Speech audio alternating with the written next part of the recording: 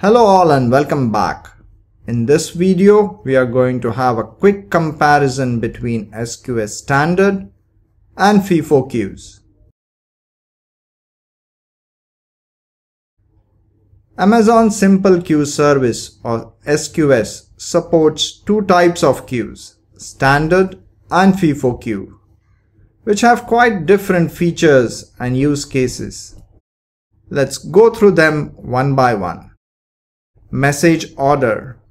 Standard queues provide best effort ordering, which ensures that messages are delivered in the same order as they are sent.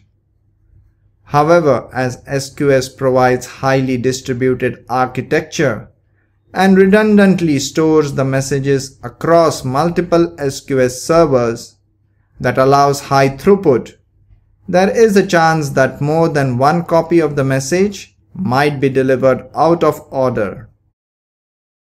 FIFO queues offer exactly first in first out delivery. The order in which the messages are sent and received is strictly preserved. In terms of delivery, standard queues guarantee that a message is delivered at least once and duplicates can be introduced into the queue. FIFO queues ensure exactly once processing and a message is delivered exactly once and remains available until a consumer processes and deletes it. Duplicates are not introduced into the queue. FIFO uses message deduplication ID token for deduplication of sent messages. If a message with a particular message deduplication ID is sent successfully, any messages sent with the same message deduplication ID are accepted successfully but aren't delivered during the 5 minute deduplication interval. FIFO queue also supports content-based deduplication now. Throughput or transaction per second.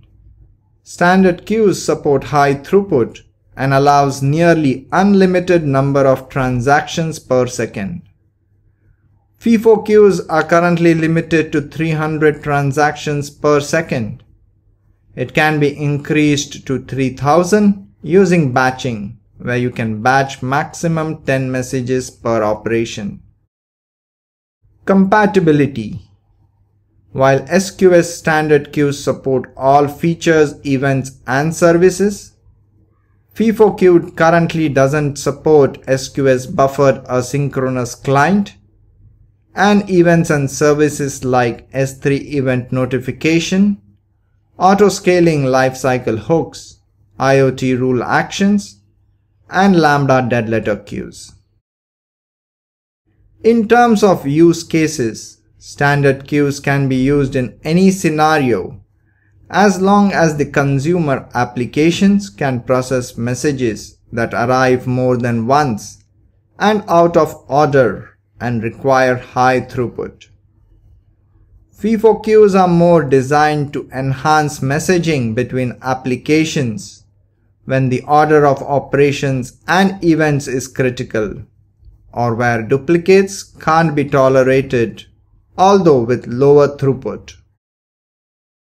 So that's it for a quick comparison between SQS Standard and FIFO queues. I hope this would help you understand the key differences and use cases for each of them. Thank you all. Alright, that was it. Thank you for watching. You can check out my website and connect me on LinkedIn and Twitter. If you enjoyed this video, please give it a thumbs up.